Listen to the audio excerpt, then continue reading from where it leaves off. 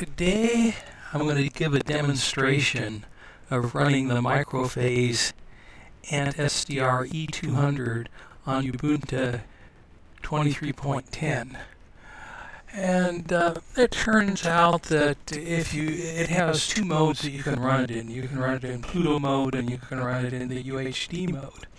If you run it in the Pluto mode everything works fine. Um, all the programs work without a problem. But if you run it in UHD mode, you have a problem. And so here we'll we'll go and we'll check to see that the UHD is running, and he's running. And then we'll crank up CubicSDR.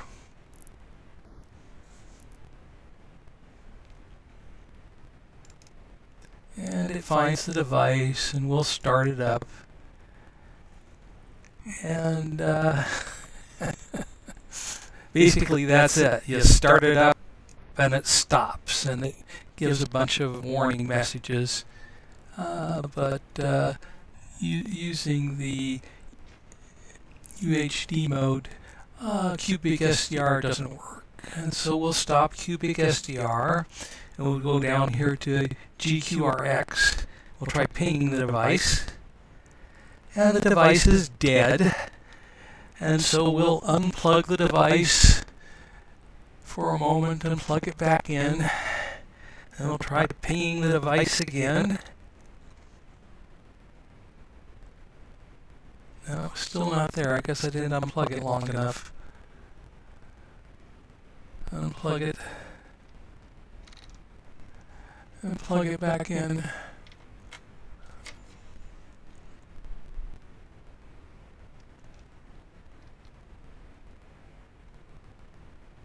Okay, so now now it's alive again. And we'll try running GQRX.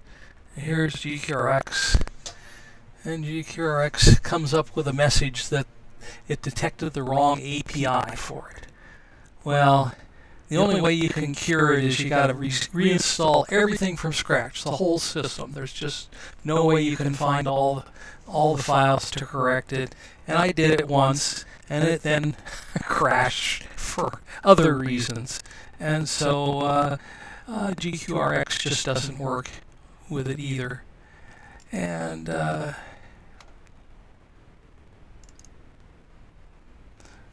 so we'll cancel it. And we'll go down to SdrGlut and try pinging. Oh, it says it's alive. Okay. I'll buy that. Let's try it since this thing thinks it's alive. And um, radio.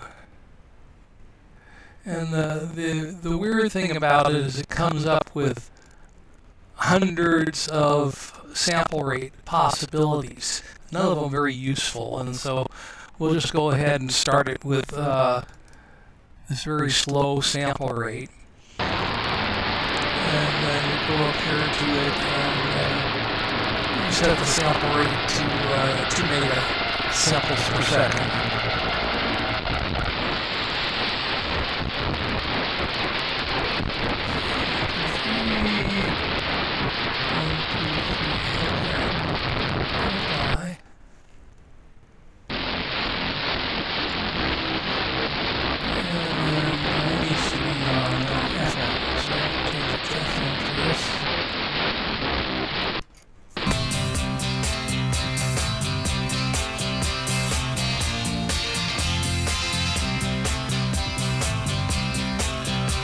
It, it's working okay.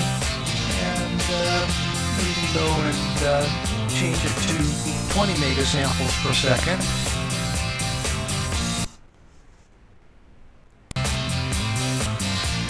And so it's running nicely at 20 megasamples per second.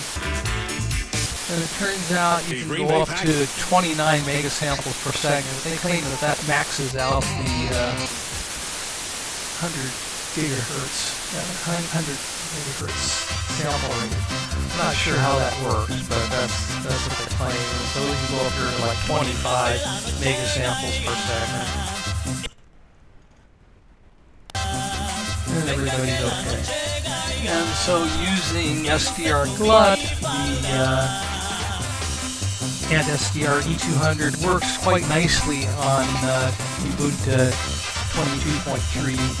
The only str- the only strangeness is, is the uh, sample rate. Uh, they give you a, a, huge number of samples and, and it just runs out of it.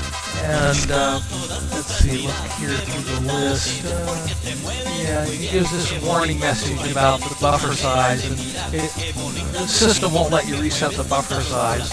I don't know why. I tried resetting it with a command and resetting it in, in the file. but other than that, the uh, SDR E200 uh, works quite nicely on uh, SdrGlut, uh, on uh, with SdrGlut on Ubuntu 23.10 uh, using the e UHD, and that has the advantage of uh, larger bandwidth than the, uh, the Pluto. And so that's it for today.